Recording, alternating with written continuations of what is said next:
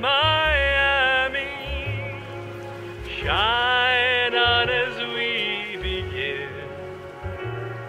a dream or two that may come true when the time comes in.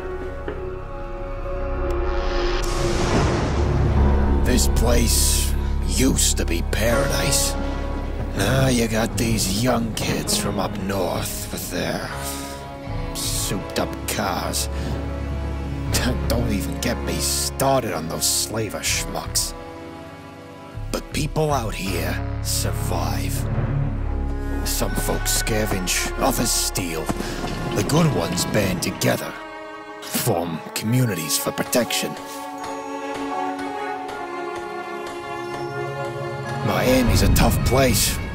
If it's not the gangs or the gator claws, it's the damn sandstorms. Or something much, much worse.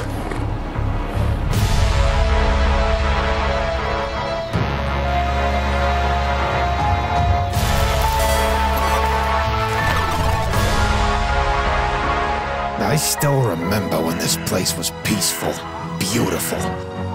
We had the beaches, the celebrities. People came from all over just to vacation here. Families with children. Good, hardworking Americans. but that was a long time ago.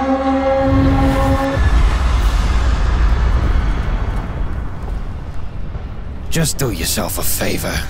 Don't go near that building. Something strange is going on.